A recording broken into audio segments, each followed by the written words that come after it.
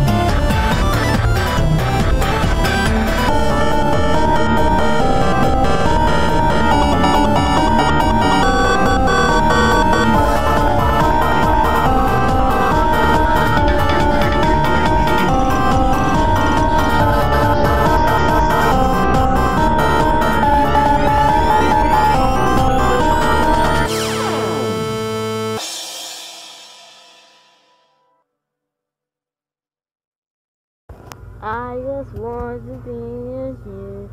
And I love Thanksgiving. We look, like this.